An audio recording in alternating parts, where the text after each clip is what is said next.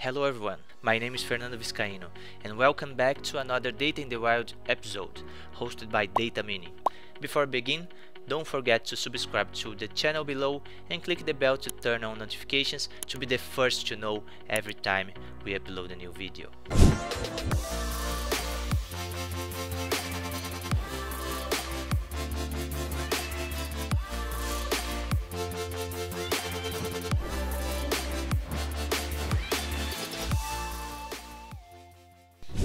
So, today we are going to talk about reading and saving files to a folder in Alteryx Gallery. So I have an, an example ready here for you. It's a simple one with an input data tool, an output data tool, and here the folder where I'm get, getting the data from.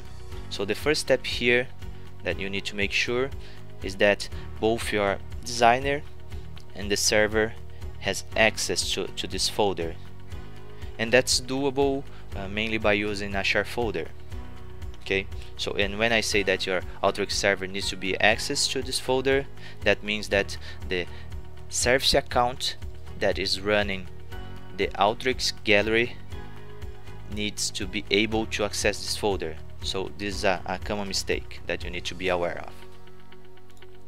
The second step here is to properly configure the path. So if if yours like mine here and your share folder is mapped to a specific drive we need to standardize that. And how do we do that? So we go here to options tab advanced options and workflow settings. And here you can see it's all, all pointing to the Y drive. And what we can see here we have a button to to standardize that to a universal convention. And here you can see now that we have the, the IP of the server and also the folder where I'm getting this data from. I can press OK here. And the third step here is to save this in Alteryx Gallery. So let's save. And we need to also check the workflow options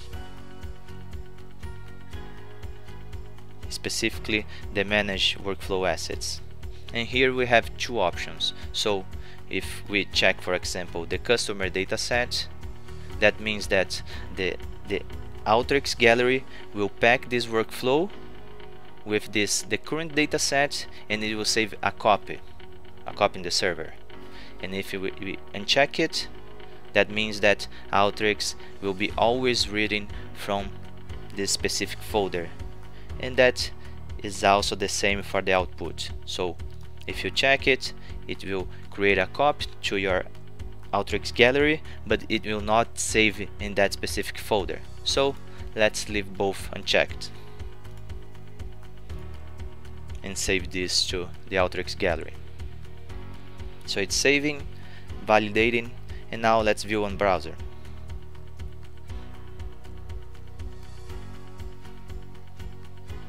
that way. If check here we don't have an output data output data here then if you run we can see run once again. And then we can see the, the output here. So that's it for today I hope that now you have an idea of how to, to build this kind of workflow and good luck.